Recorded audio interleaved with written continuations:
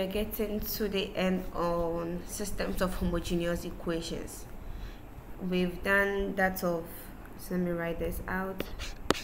We are looking at homogeneous systems of equations. We've considered the real and distinct we've considered the repeated roots. And then the last thing to do is the complex roots. So that's the last video on homogeneous systems of equations. Again i'll take a simple example here so assuming I have um, a system of this form 3 negative 5 1 negative 1 of the unknowns to be x1 x2 this is homogeneous because the last or the source term here is 0 so that's my matrix form. That's the first thing to do. The second thing is to find your eigenvalue. These are the simple steps to follow. Eigenvalues is of this form it means I have it as um, 3 minus lambda negative 5 if you should find a 2 by 2 determinant of this I'm going to get um, lambda squared minus 2 lambda plus 2 and the eigenvalues here gives me lambda equal to 1 plus or minus i this is the eigenvalue this is the complex root now the next thing is to find the eigenvectors you would realize that if I want to find lambda at all 1 plus or minus i, I can't find eigenvectors because it's going to be 3 minus 1 plus or minus i and that will be something complex to do. So it means I can take just one part of the solution. I can have it as 1 plus i or 1 minus i. 1 is a conjugate of the other. You can clearly see that. So any of them should do. I'm going to take the positive part. So I'm saying that if you choose the negative part, it should still work it. Or it should still work out for you. So this we're going to have 3 minus 1 plus i, negative 5 1 negative 1 minus 1 plus i of some v1 v2 is equal to zeros. So this is going to give us um, 3 minus 1 that is 2 plus i. That's this negative 2 plus i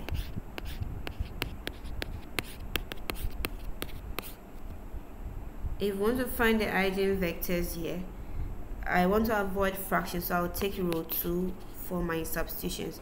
It means I have it as let me use a different marker here. I have it as v1 minus um, what do I have? Well here is going to be minus i. Yeah because it's minus 1 plus i so minus i. So negative minus 2 minus i of v2 equal to 0 I can simply have it as uh, let's see let's see. V1 will be equal to if everything goes to the opposite side of the equation I'm going to get 2 plus i of v2 yeah. This means that if v2 is said to be 1 I'll have my v1 to be 2 plus i and so the eigenvectors here is 2 plus i against 1 the next is to write your solution. So realize these are simple steps to follow. From matrix you write eigenvalue you find eigenvectors and you write your solution. The solution out here is going to be y equal to some at v. So i introduce my eigenvector. C1 cos beta t. And then the second part sine beta of t. So i told you that um, we would always expect an imaginary part in our eigenvectors. And that is what you consider an i part. To cater for that it means i have to initiate the imaginary as part of my c2 solution. Hence by substitution if lambda equal to 1 plus or minus ib I can see that A is 1 B is also 1 because it's plus or minus I. So I have ET my eigenvectors here. And then C1 cos T because B is 1 plus I C2 sine T. This is your final answer you can leave it this way or you can go ahead and simplify it. Simplifying this, you want to write this as some real part of the solution plus the imaginary part of the solution.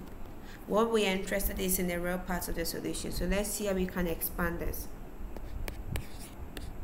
I want to multiply through, this is a multiplication. So I want to do the expansion in that angle. You know it is 2 plus i multiplying c1 cos t. And then this same 2 plus i would multiply i c2 sine t. And I can go back to 1 multiplying c1 cos t plus the same 1 multiplying i c2 sine t.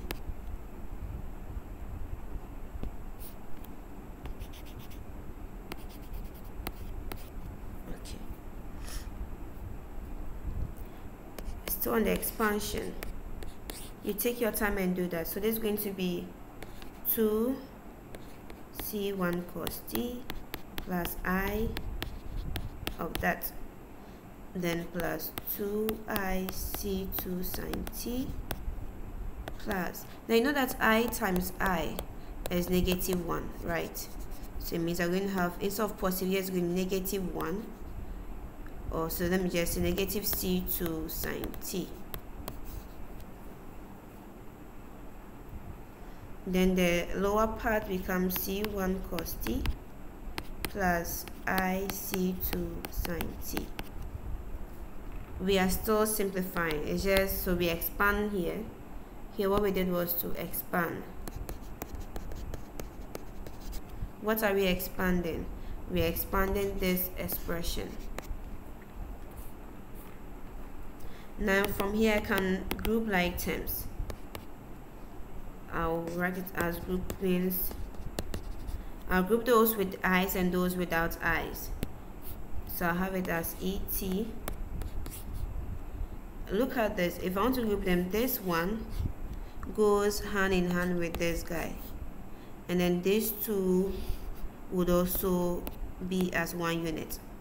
So it means I have 2c1 cos t minus c2 sine t as one aspect plus i part of it c1 cos t 2c2 sine t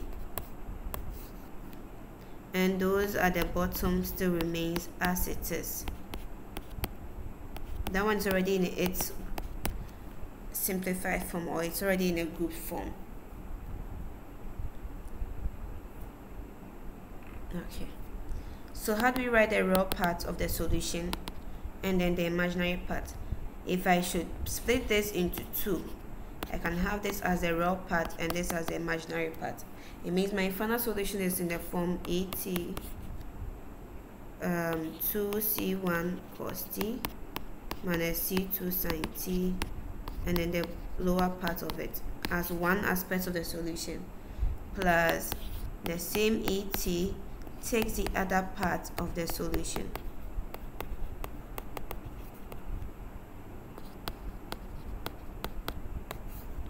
so this is my real part and the imaginary part and this brings me to the end of my solution and the split up.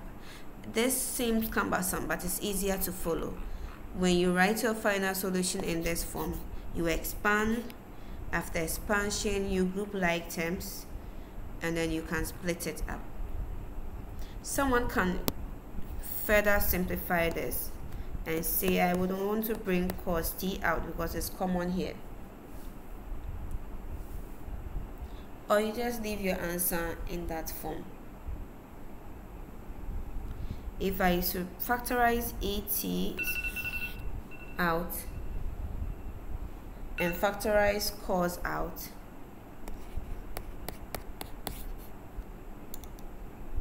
you realize that for cos to be out I'll get 2c1 as the first coefficient and then I can get c2 as a second coefficient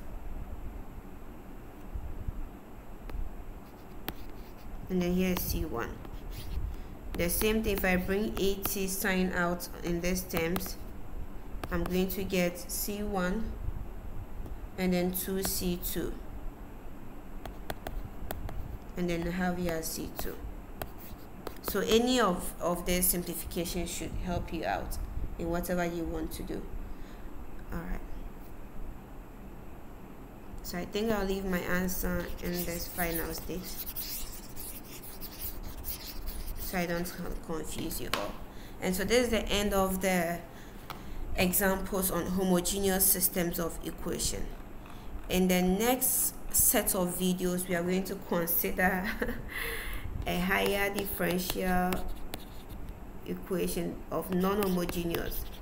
It means I'm going to get a system of non-homogeneous equations to solve.